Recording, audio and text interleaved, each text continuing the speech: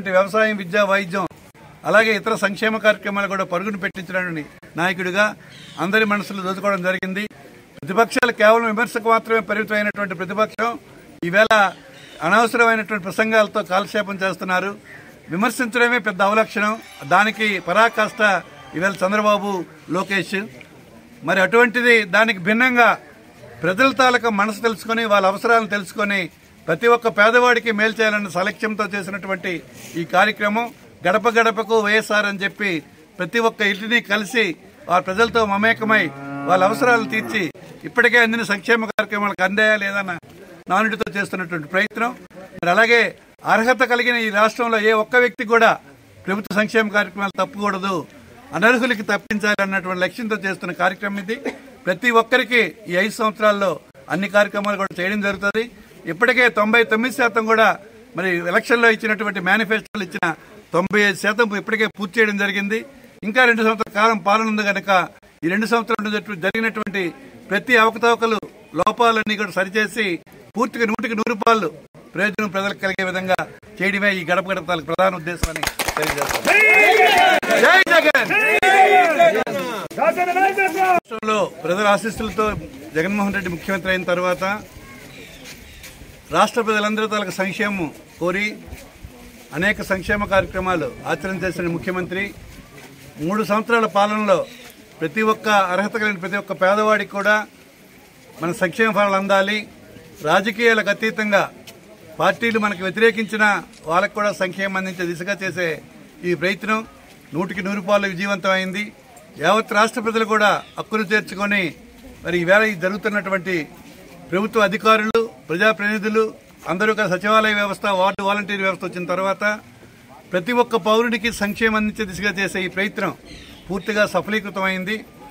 మరి ఈవేళ రాష్ట్ర ప్రజలు యావత్తు మరి ఆనాడు అఖండ మెజారిటీతో గెలిపించినటువంటి వైఎస్ఆర్ పార్టీ నూట డెబ్బై స్థానాలు గాను నూట యాభై ఒక్క స్థానాలు గెలిస్తే ఈవేళ అంతకంటే మిన్నగా ఎక్కడ ఏ ఎన్నిక జరిగినా మరి కార్పొరేషన్ ఎన్నికల నుంచి మరి మున్సిపాలిటీల నుంచి బై ఎలక్షన్ల నుంచి మరి స్థానిక ఎన్నికలైనటువంటి సర్పంచ్ ఎంపీటీసీ ఎంపీపీ జడ్పీటీసీ ప్రతి ఒక్క ఎన్నికలో కూడా అఖండమైన మెజార్టీతో చివరికి కుప్పం చంద్రబాబు సొంత నియోజకవర్గంలో కూడా మున్సిపాలిటీ శాతం గెలిచినటువంటి వైఎస్ఆర్ పార్టీ మరింత పటిష్టమైనటువంటి వ్యవస్థతో మరి ప్రభుత్వ ప్రధాన అంశాలుగా ఉన్నటువంటి వ్యవసాయం విద్య వైద్యం అలాగే ఇతర సంక్షేమ కార్యక్రమాలు కూడా పరుగును పెట్టించడానికి నాయకుడిగా అందరి మనసులు దోచుకోవడం జరిగింది.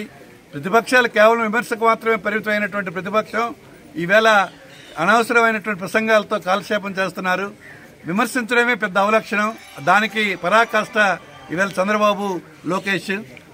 మరి అటువంటిది దానికి భిన్నంగా ప్రజల తాలూకా మనసు తెలుసుకొని వాళ్ళ అవసరాలను తెలుసుకొని ప్రతి ఒక్క పేదవాడికి మేలు చేయాలన్న సలక్ష్యంతో చేసినటువంటి ఈ కార్యక్రమం గడప గడపకు వైఎస్ఆర్ అని చెప్పి ప్రతి ఒక్క ఇంటిని కలిసి ఆ ప్రజలతో మమేకమై వాళ్ళ అవసరాలు తీర్చి ఇప్పటికే అందిన సంక్షేమ కార్యక్రమాలకు అందాయా లేదన్న నానుడితో చేస్తున్నటువంటి ప్రయత్నం. మరి అలాగే అర్హత కలిగిన ఈ రాష్ట్రంలో ఏ ఒక్క వ్యక్తి కూడా ప్రభుత్వ సంక్షేమ కార్యక్రమాలు తప్పకూడదు అనర్హులకి తప్పించాలి అన్నటువంటి లక్ష్యంతో చేస్తున్న కార్యక్రమం ఇది. ప్రతి ఒక్కరికి ఈ సంవత్సరాల్లో అన్ని కార్యక్రమాలు కూడా చేయడం జరుగుతుంది. ఇప్పటికే తొంభై తొమ్మిది శాతం కూడా మరి ఎలక్షన్లో ఇచ్చినటువంటి మేనిఫెస్టోలు ఇచ్చిన తొంభై ఐదు శాతం ఇప్పటికే పూర్తి చేయడం జరిగింది. ఇంకా రెండు సంవత్సరాల కాలం పాలన ఉంది కనుక ఈ రెండు సంవత్సరాలు జరిగినటువంటి ప్రతి అవకతవకలు లోపాలన్నీ కూడా సరిచేసి పూర్తిగా నూటికి నూరు పాలు ప్రయోజనం ప్రజలకు కలిగే విధంగా చేయడమే ఈ గడప గడప ప్రధాన ఉద్దేశం అని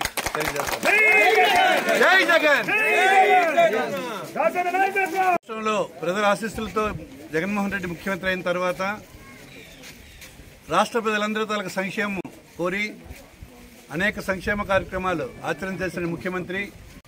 మూడు సంవత్సరాల పాలనలో ప్రతి ఒక్క అర్హత కలిగిన ప్రతి ఒక్క పేదవాడికి కూడా మన సంక్షేమ ఫలాలు అందాలి. రాజకీయాలకు అతీతంగా పార్టీలు మనకు వ్యతిరేకించిన వాళ్ళకు కూడా సంక్షేమం అందించే దిశగా చేసే ఈ ప్రయత్నం నూటికి నూరు పాలు విజయవంతమైంది. యావత్ రాష్ట్ర ప్రజలు కూడా హక్కును చేర్చుకొని మరి ఈవేళ ఈ జరుగుతున్నటువంటి ప్రభుత్వ అధికారులు ప్రజాప్రతినిధులు అందరూ కూడా సచివాలయ వ్యవస్థ వార్డు వాలంటీర్ వ్యవస్థ వచ్చిన తర్వాత ప్రతి ఒక్క పౌరుడికి సంక్షేమం అందించే దిశగా చేసే ఈ ప్రయత్నం పూర్తిగా సఫలీకృతమైంది.